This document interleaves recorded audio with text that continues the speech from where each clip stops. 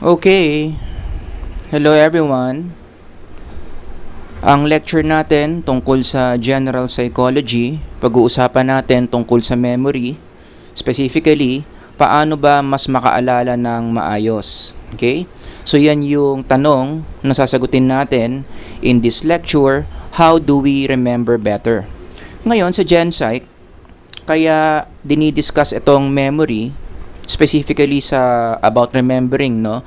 This is a preview kung ano yung pag-aaralan ng mga psych major sa cognitive psychology. Usually kasi sa Gen Psych, yung topics on memory, learning, and intelligence, preview yan kung anong pag-aaralan sa Cog Psych na isa sa mga majors na kinukuha ng mga psych majors. To be more specific, kapag kumuha kayo ng Cog Psych, as a major in your psych program, ito yung mga pinag-uusapan dyan. Siyempre, number one dyan, yung memory. Kaya connected yung lecture natin ngayon dito, no? Other than that, learning, attention, intelligence, knowledge organization, language, problem solving, decision making. Yan ang ibig sabihin ng cognitive psychology. Basically, ang pinag-uusapan dito, what are the different processes that happen inside a person's mind. So, yung mga na- nakikita nyo dito, let's zoom in. Ito yung mga processes na nangyayari inside the person's mind. So, yung lecture natin ngayon, tungkol sa memory, to be more specific, pag-uusapan natin, again, ulitin ko, kung paano mas nakakaalala yung tao. Okay? So, sa isang Gen Psych textbook, no, maraming mga information about memory na ipe-present.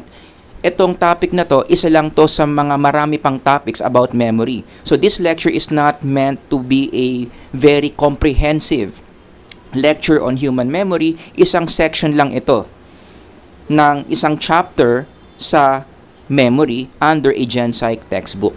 Okay, so focus lang muna tayo dito, how do we remember better? Okay? So we start with this principle na ang memory pwede pang ma-improve yan.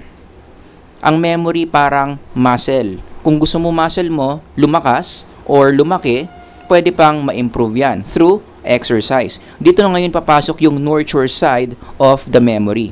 Although meron tayong biological component of memory, yung lakas ng memorya mo, may kinalaman dyan yung biology mo, hindi ibig sabihin nun na wala ka nang pwedeng gawin para mag-improve yung lakas ng memory mo. So, parang muscle nga. 'Di ba? So pinanganak ka na meron kang certain strength of your muscles. Pero hindi ibig sabihin no na hanggang mamatay ka, ganun na lang kalakas yung muscles mo. You can go to the gym, you can exercise it every day hanggang sa lumaki at lumakas yung muscle mo. Same thing with memory. Meron tayo mga psychological techniques na pwedeng gamitin to improve your ability to remember. Again, ulitin ko, no, ang memory, parehong may contribution dyan ang genetics and environment. Now, mag-side comment lang ako ng konti sa genetics. No? If you want to have more understanding how genetics or biology affects memory, may mga articles tayong pwedeng basahin dyan. If you have time, you can read this article. Anong contribution ng molecular biology sa memory? This is also another good article to read. Anong kinalaman ng genetic predisposition sa kakayanan mong makaalala? Bottom line, Anong sinasabi ng dalawang articles na yan? Our ability to remember, meron yang biological factors. Yan yung pag-uusapan kapag nag-cognitive psychology na kayo. So ngayon, dahil general psychology to, very general lang muna yung, yung um, pag-uusapan natin about memory. Again, ano ba yung nurture side? Ano yung mga um, external things that we can do para mas lumakas yung memory natin at mas makaalala tayo ng maayos. I want to discuss today four techniques kung paano ba palakasin ang memory. At itong four techniques na to, hindi ko lang to gawa-gawa. These are the techniques na talagang napatunayan na that works based on many researches. Technique number one, kung gusto nating mas makaalala ng maayos, we need to learn how to get rid of distractions. Mahalagang psychological skill ito. Yung nilalayuan mo, yung mga distractions sa paligid mo. Ito kasi ang kalaban ng good memory. Kaya ka nagiging malilimutin, hindi ka magaling mag-alala ng mga bagay-bagay kasi hindi ka tumatakbo from distractions. Nilalapitan mo pa. That's one of the major causes why someone would have a poor memory. Anong ibig sabihin ng distraction? Any task or activity that has nothing to do with your current memory task. Halimbawa, nag-aaral ka ng test mo para bukas. Ano yung memory task mo? Yung notebook mo. Yung laman ng notebook mo, kailangan ipasok mo sa memory mo. So, lahat ng bagay sa environment mo na walang kinalaman sa notebook mo, distraction yon. Kasama na dyan, syempre, yung pasundot-sundot mo sa Facebook, pasundot-sundot mo sa Twitter, YouTube, i-check mo yung notification ng phone mo, sisilipin mo yung aso mo kung nandyan pa ba, sisilipin mo sa kusina kung ano yung ulam. So all those things na sinabi ko are considered distractions. Kasi yung mga sinabi ko, wala siyang kinalaman doon sa task na ginagawa mo which is ilagay yung laman ng notebook mo sa long-term memory mo. Okay? So yan ang number one cause kung bakit ang tao nagkakaroon ng poor memory kasi yung taong yon hindi siya marunong lumayo sa distractions. Ngayon, anong meron sa distractions? How does distraction lead to poor memory? Kasi kapag ang tao laging distracted sa mga bagay-bagay, no, it promotes lesser rehearsals. Eh alam naman natin no in the study of memory, rehearsal is very important kasi ito yung proseso na naglalagay ng information from your sensory memory papuntang long-term memory mo. For those of you who are not familiar, rehearsal ang ibig sabihin lang yan para maalala mo yung isang bagay, kailangan mong practicein. Kailangan mong ulit-ulitin. So yung laman ng notebook mo, sa math o yung laman ng notebook mo sa history, kailangan mong ulit-uliting i-memorize, ulit-uliting mong basahin para maalala mo bukas kapag nag-exam ka na. The more rehearsals that you do, mas tumataas yung chance na maaalala mo yung laman ng notebook mo pagdating ng exam. Ganyan kahalaga ang rehearsal for a good memory. Basic principle, the more rehearsal that you have, most likely, mas maganda yung memory mo doon sa information na maraming beses mong ni-rehearse. Eh yun nga yung problema sa distractions. Dahil hinahayaan mo yung sarili mo to be distracted, nababawasan yung number of rehearsals mo. The less rehearsals na nagagawa mo, most likely malilimutan mo yung inaaral mo. Kasi nga, kapag konti lang yung rehearsals mo, yung information na sana na sa long-term memory mo, hindi umaabot 'Di ba? Konti lang kasi yung rehearsal mo, tingin ka kasi ng tingin sa cellphone mo, silip ka ng silip doon sa aso mo. So yung inaaral mo, dahil konti lang yung rehearsal mo, hindi siya umaabot sa long-term memory. Ganyan kahalaga yung proseso ng rehearsal. Kahit ang Bible nag-agree dyan eh. If you read the book of Deuteronomy, isa sa mga major tasks na dapat mangyari dito no, is ang mga Israelites dapat maalala nila malagay nila sa long-term memory nila yung mga utos ng Diyos, also known as the laws. And God has a way. Tinuruan ng Diyos yung mga leaders ng Israelite nation kung paano ilagay sa long-term memory nila yung mga utos niya, which is repetition or rehearsal. As you can see here in this passage, basically yan yung sinasabi. Para maalala ng mga Israelites yung utos ng Diyos, anong dapat gawin? Ulit-ulitin. Rehearsal. Ulit-ulitin yung ituro yung laws, yung mga batas sa mga anak ninyo pag umaga, kapag gabi, habang naglalakad sila, or anytime na meron kayong opportunity, ulit-ulitin yung ituro sa kanila. Again, anong principle behind this? Rehearsal mas marami kang rehearsal na ginagawa sa information na gusto mong maalala, mas naaalala mo kasi nalalagay mo siya doon sa long-term memory. O again, ulitin ko, yun ang problema sa distraction. Ang distraction, babawasan niya yung number of rehearsals. Kapag distracted ka, tinan mo, tatlong rehearsal lang yung nagawa mo. Pero kung nag-concentrate ka, pinatay mo muna yung cellphone mo, pinalabas mo muna yung aso mo, sinabihan mo muna yung mami mo na huwag ka munang paghugasin ng pinggan kasi may inaaral ka, o sa isang oras, nakasampung rehearsal ka, most likely, aabot yan sa long-term memory mo. Maalala mo yung mga sagot sa exam when you take it tomorrow. Eh ang bad news in connection to distraction and its effects on memory, bad news yan sa mga Pilipino kasi ang mga Pilipino, sabi ng mga pag-aaral, ano daw tayo? Number one tayo sa social media addiction. Meaning marami mga Pilipino highly distracted. And that includes young people. Eh sino ba kasi gumagamit ng social media? Malaki ang chunk ng porsyento na gumagamit ng social media, mga kabataan na currently nag-aaral. Eh, alam naman natin na ang social media isang number one distraction yan. So anong implication yan? Marami tayong mga estudyante ngayon na nag-aaral, meron silang habit of distracted, being distracted. And it affects us in so many ways, especially sa cognitive skills ng mga tao o ng mga estudyante na to na distracted. Like for example, that's one of the reasons kung bakit mababa ang performance ng mga Filipino students sa reading, math, and Science, sabi sa PISA study.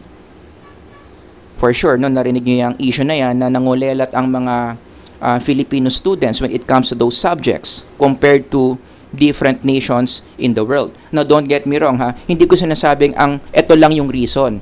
Kaya sila poor performance kasi distracted sila. There are many other variables or factors to explain bakit mababa ang performance ng mga estudyante sa mga subjects na yan. Mahina ang internet sa Pilipinas, kulang sa teacher, kulang sa classroom, yung mga estudyante nandoon sa ilalim ng puno nag-aaral, kulang sa competence yung mga teacher, so on and so forth, maraming reasons. Pero we cannot deny the fact na isa sa mga pinaka-powerful reasons kung bakit naging ganyan ang performance ng mga estudyante, marami kasi mga estudyante distracted by social media. Imbis na yung um, time nila sa social media, ginagamit nila for rehearsing the subjects that they need to study, sa nila nilalagay sa pagbabrowse ng social media. In fact, to be more specific, no, noong 2021, napag-alaman na ang pangkaraniwang Pilipino, and this includes Filipino students, 4 hours and 15 minutes ang ginagamit for social media use. 4 hours 15 minutes, malaki yan. So kung gising ka ng 8 hours, kalahati ng araw mo, nagso-social media ka. And usually, kapag nagso-social media ang mga Pilipino, can we agree on this? Um, it's a non-memory work. Ibig sabihin yung 4 hours and 15 minutes na yan, hindi, hindi ka nagso-social media dyan para pag, paganahin mo yung memory mo. Nagso-social media ka for entertainment purposes, wherein memory effort is low kapag ine-entertain mo yung sarili mo, hindi ka naman nagme-memorize sa mga bagay-bagay eh. Tinitignan mo lang, finifeel mo lang yung mga nakikita mo sa social media, 'di ba? Natawa ka doon sa meme, natawa ka doon sa video clip, natakot ka doon sa sa Netflix na pinanood mo. It's a non-memory work. So hindi gumagana yung memory mo. Hindi ka nagre-rehearse in this 4 hours and 15 minutes. O, 'di ba? Meron pang isang study no in connection to this. Kung bibilangin mo raw yung number of hours na ginagamit natin for social media this time lifetime. Ito kasi per day.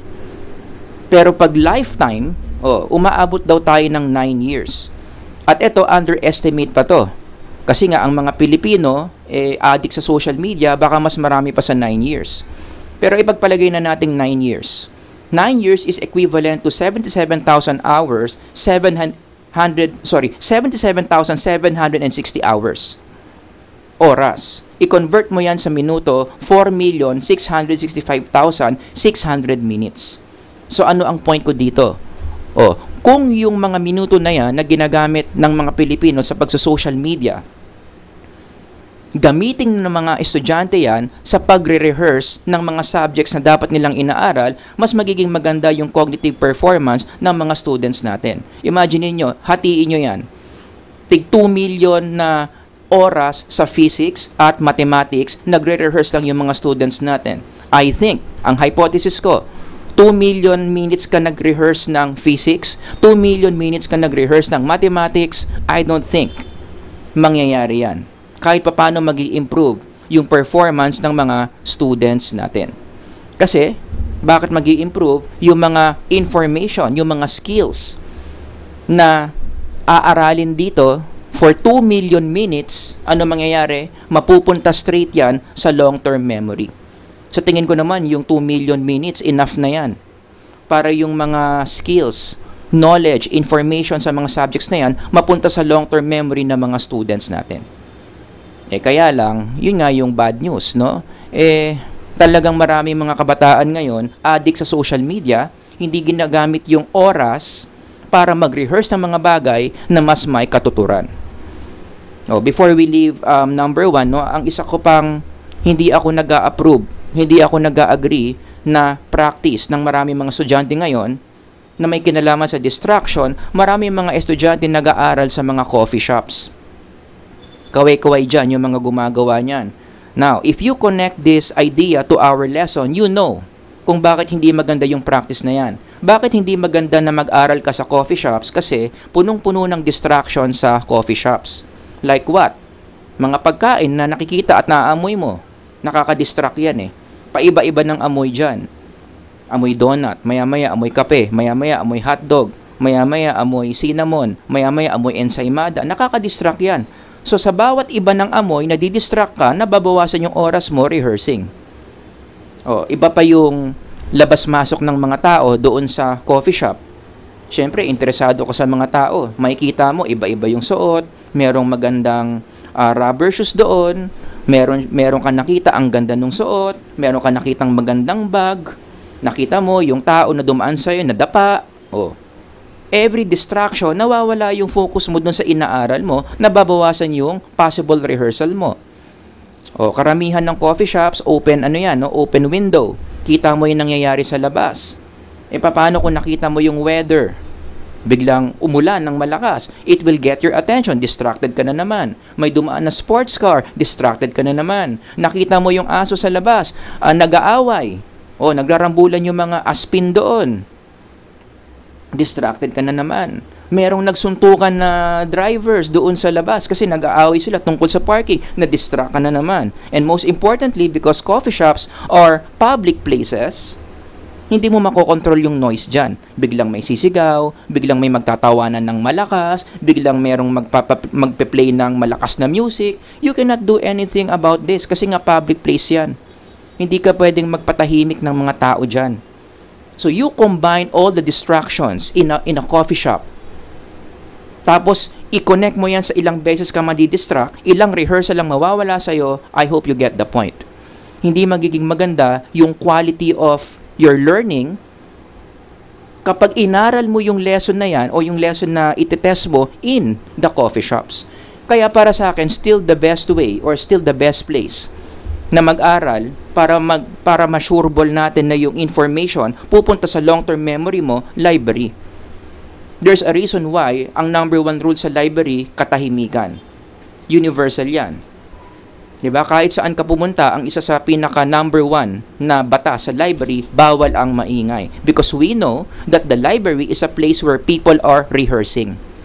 Nirerespeto natin yung efforts ng mga tao sa library na nilalagay nila yung information na gusto nilang aralin in their long-term memory. And that involves rehearsal. Ayaw nating maistorbo, ayaw nating ma-distract yung mga tao para makapag-rehearse sila ng maayos.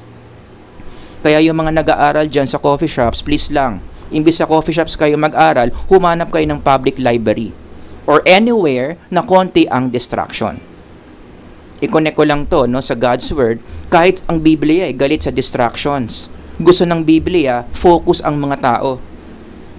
It is a spiritual hazard when people are distracted.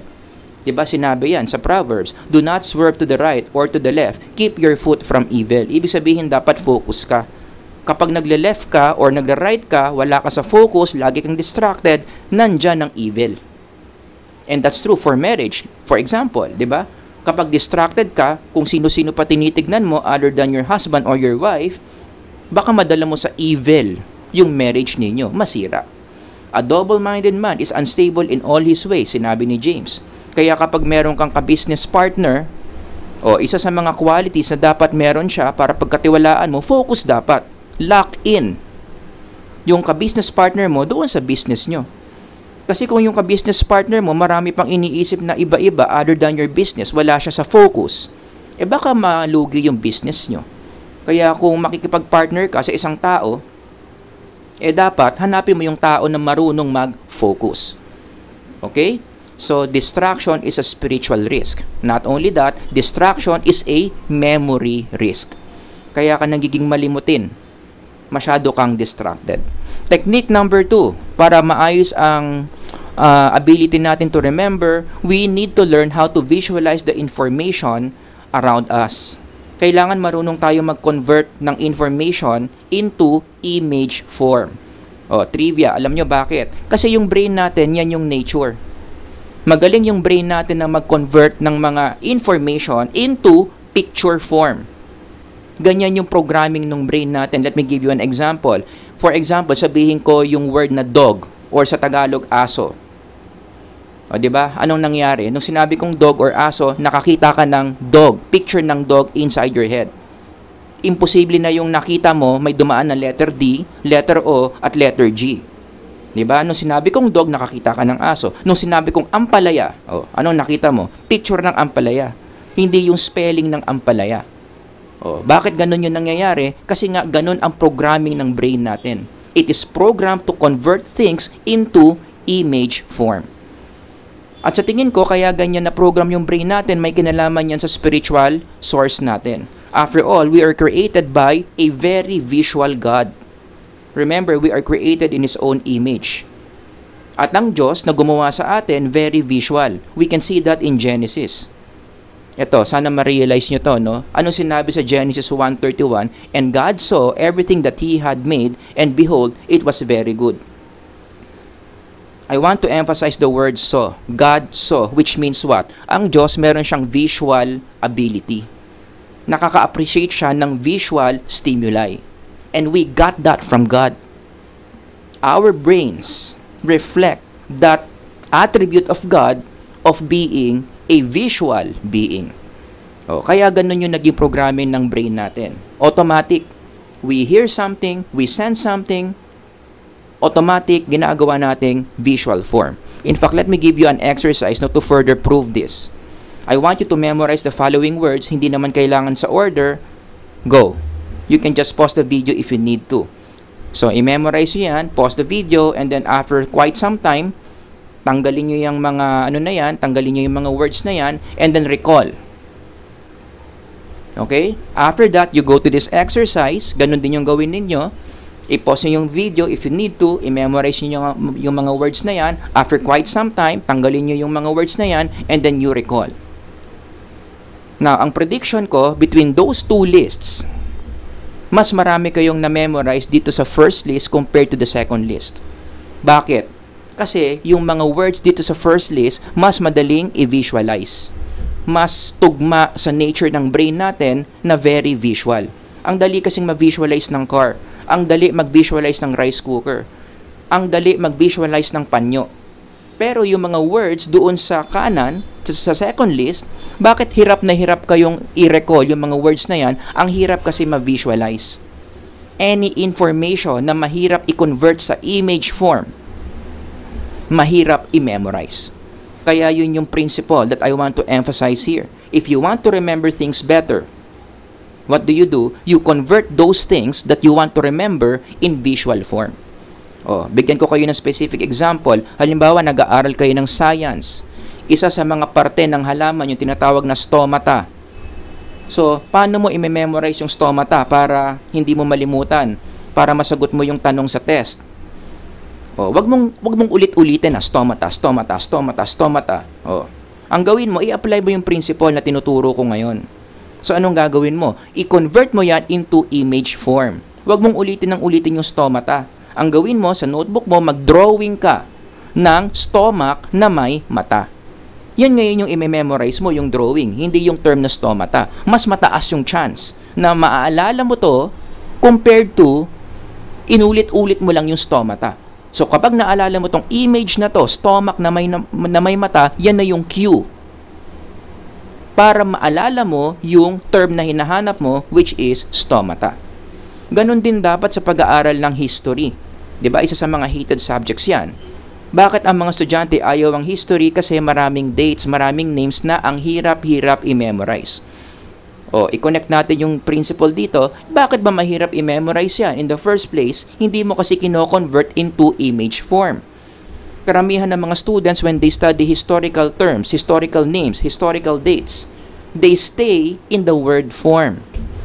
So kung inaaral nila yung word na Sigmund Freud, anong gagawin ng mga estudyante? Uulit-ulitin lang nila yung name na Sigmund Freud. Sigmund Freud, Sigmund Freud, Sigmund Freud, Sigmund Freud. Ganon din sa dates. Uulit-ulitin lang yung date. June 12, 1898. June 12, 1898. Hindi tama. Para mas maalala mo si Sigmund Freud, or yung June 12, 1898, i-associate mo, i-connect mo sa pictures, sa images. So hanap ka ng picture ni Freud, i-associate mo yung name sa picture ni Freud. Si Freud pala, si pala kalbo. Si Freud pala laging merong hawak na tobacco. Si Freud pala merong balbas na puti. Si Freud pala nagkaroon ng oral cancer ang dami-dami niyang sakit na naranasan towards the end of his life that he asked one of his friends na i-overdose na lang siya ng morphine para matapos na yung struggle niya. O, di ba? So, yung mga sinabi ko sa inyo na kwento tungkol kay Freud, mas na-visualize si Freud.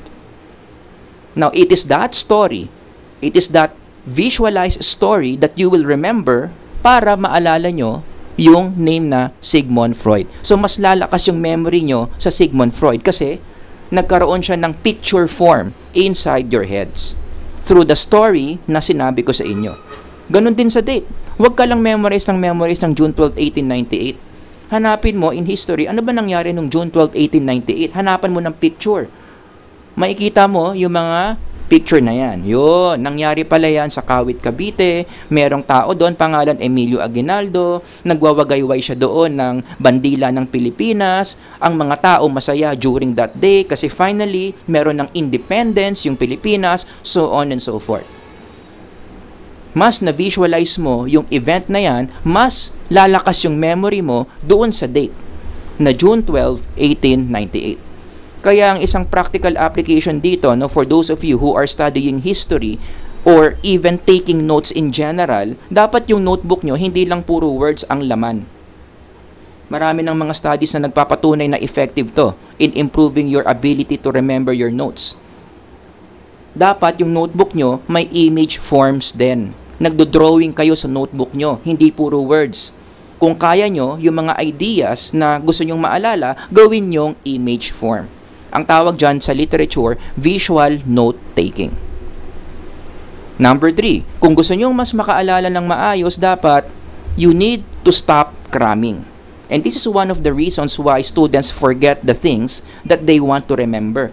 Anong ibig sabihin ng cramming? When you store up, when you force large numbers of information into your memory with just a short time pinipilit mong makaalala ng maraming information na ang konti-konti lang ng oras mo para gawin yan.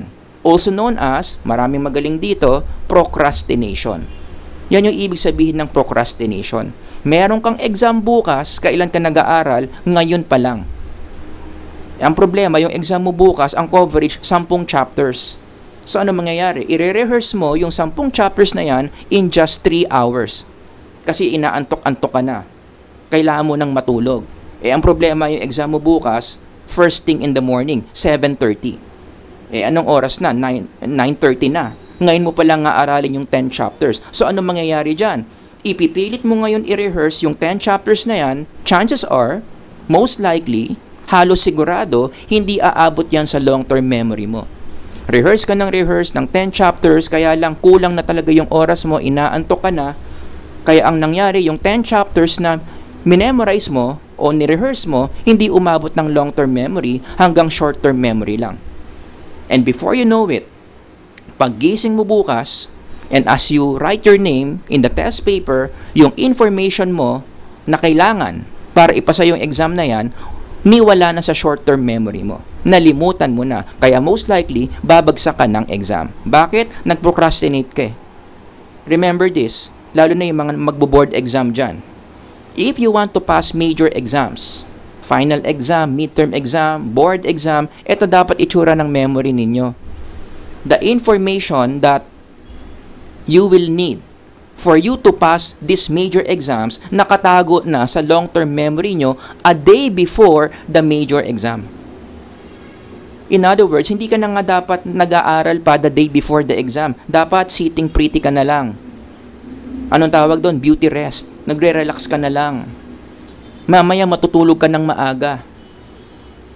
You can afford to sleep 8 hours the night before the exam. Bakit? Nasa long-term memory mo na yung information eh na kailangan mo to pass the major exam. Pero, bago yan nakarating dito, ano muna kailangan mo? Enough rehearsals para umabot sa long-term memory. Ang tanong, eh paano nangyari yan? The night before, yung information nasa long-term memory mo na kasi maaga mong inaral. Hindi ka nag-procrastinate. One week kang review ng review. Day 1, nag-review ka before the exam. Day 2, before the exam, nag-review ka. Day 3, before the exam, nag-review ka. So, paulit-ulit, ano nangyari? Unti-unti, yung sampung chapters na yon nasa long-term memory mo na. Kasi inunti-unti mo eh. In the literature, ang tawag dyan, distributed practice. Inunti-unti mo. Kaya yung sampung chapters, before the exam, lahat napunta na sa long-term memory mo. Nagkaroon ng enough rehearsal. Oh. Kaya nga, hindi effective yung procrastination. Kasi pag procrastination, tatlong oras lang, sampung chapters, mabibitin talaga yan. Hanggang short-term memory mo lang yan to the point na mawawala ka agad yan.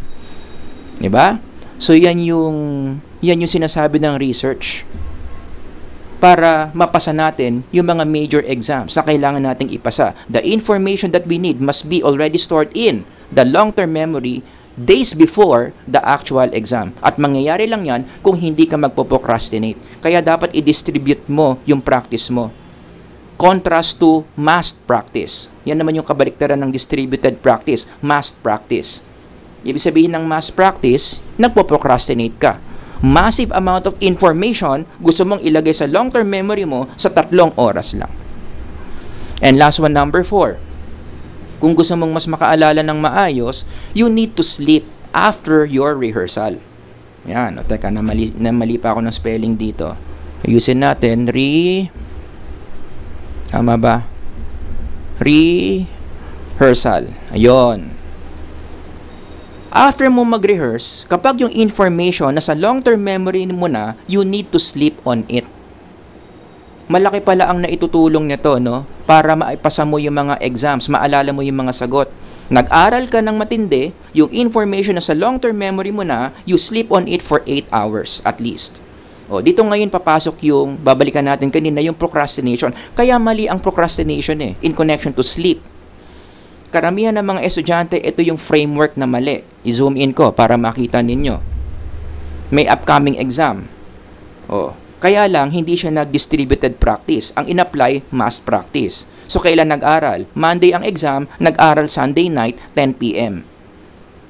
At dahil marami siyang aaralin that night, nag-decide tong estudyanteng to na hindi siya matutulog. Marami sa inyo guilty dyan. May ganyang drama, di ba? Ang tan- anong tawag dito sa English, burning the midnight oil. So may drama ka na hindi ka matutulog, una na kayo matulog kasi mag-aaral pa ako. Ah, yan na. So, nag-rehearse ka ng walang tulog, kinabukasan, pumasok ka sa classroom, nag-take ka ng exam, most likely, bagsak yan.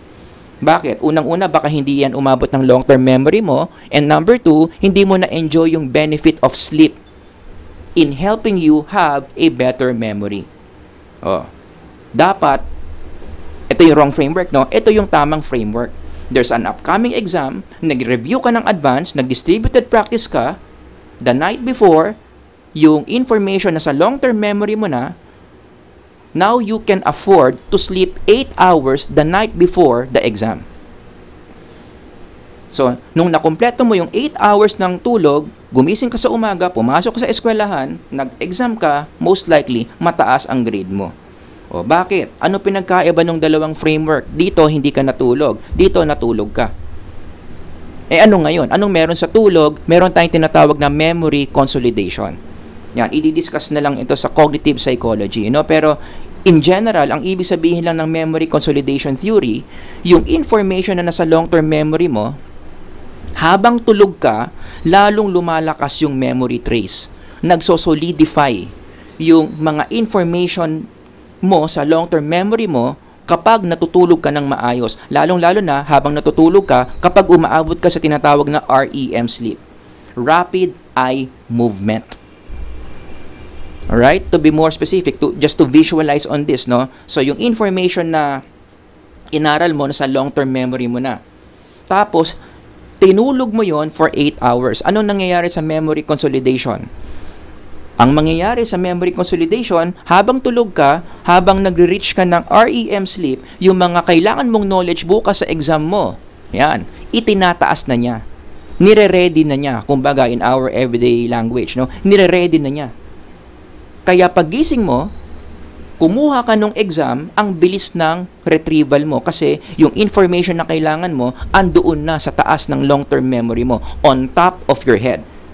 Kasi nagkaroon ng memory consolidation. Na posible lang kung naka 8 hours of sleep ka the night before the major exam.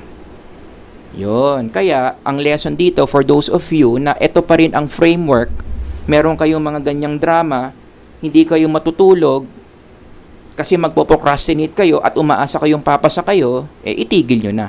Because that's not what the data is saying on how to pass major exams. Dapat ganito. Ilagay nyo ng maaga yung mga information na kailangan nyo sa long-term memory ninyo and then the night before, 8 hours of sleep take advantage of memory consolidation para sure ball, pasado ka sa exam mo. Okay? So, yun, no? Yun yung ating four guidelines. Sabi sa memory research, kung paano mas maging maganda yung memory natin. Number one, get rid of distractions. So, disiplinahin nyo yung mga sarili ninyo habang nagre-review kayo, wag na kayong silip ng silip sa cellphone. Wag na kayong silip ng silip sa mga aso ninyo, palabasin nyo muna. No? Number two, learn how to visualize the information. Kasi nga, ganyan ang nature natin. By nature, mabilis tayong mag-memorize uh, kapag in picture form.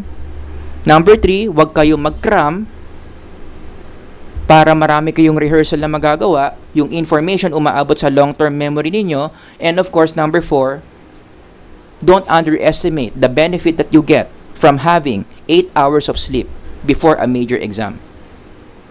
Bakit? Nagkakaroon kasi ng memory consolidation na tutulong sa inyo to have a better memory. Yan.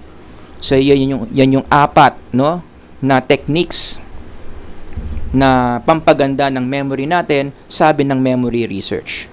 So, kung meron kayong mga questions, other examples, ilagay nyo lang dyan sa comment section.